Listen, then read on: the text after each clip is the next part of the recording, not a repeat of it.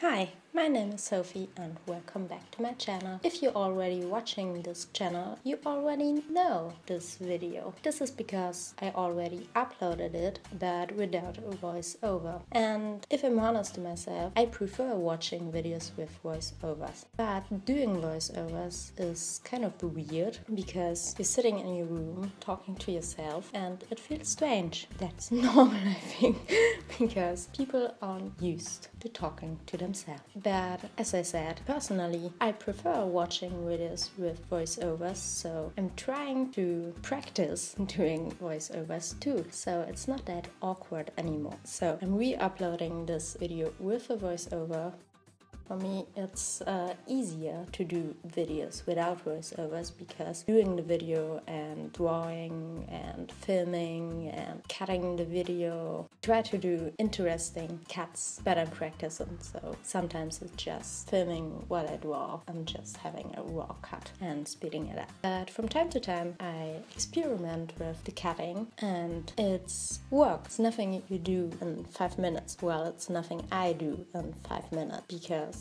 I'm new to all this YouTube stuff and making videos. I think it's really cool and fun and I want to practice it. I want to practice cutting and practice making voiceovers. So that's what I'm doing now and I will try to re-upload some videos I did before and I think which are still cool and I still stand behind them but I didn't do a voiceover because it's much easier to just put music over it especially if you experiment with cutting and it's like whoa it's like I already had hours and hours of work because you don't draw in just five minutes. So it's hours of drawing, hours of cutting, and then doing a voiceover. It's sometimes a little bit overwhelming. So I just put music over it. But as I said, I prefer watching videos with voiceovers too. And if I'm honest to myself, and maybe if you're honest too, it's not really what the person is telling me, it's just that they are telling me a little story, telling telling me something about their day or telling me some random stuff like I'm doing here. So I'm trying to do voiceover just that you hear my voice and I don't know, maybe you think it's really boring and it doesn't even make sense to you. So maybe we should talk a little bit about the drawing itself.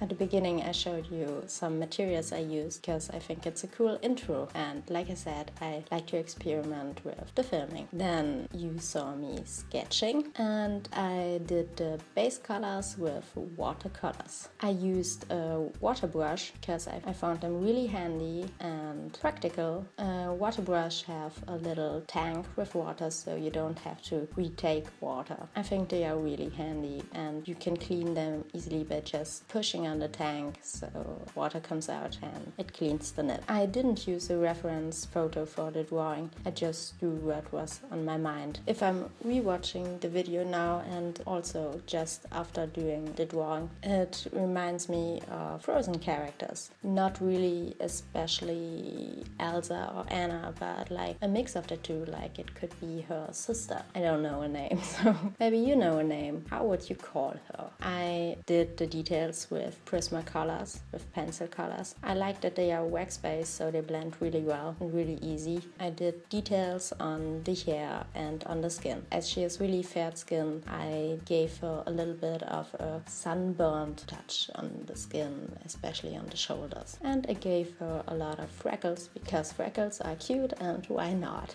I used uh, some reddish and orangey tones on the hair because I think with the light skin it complements her and with the freckles it's cool to have her a little bit of a redhead style or a strawberry blonde. If I rewatch the video now and uh, how I did the drawing. I think that I put a little bit too much detail on the face, so she looks a little bit old and tired, but it's okay. I did the outlines with a detail pen from Chameleon Pens, and I did highlights with a Sakura gel pen. I hope you enjoyed the video, I hope you liked the drawing, and I really would appreciate if you write me a nice comment, give me a thumbs up, and subscribe to my channel, and make my day. Bye!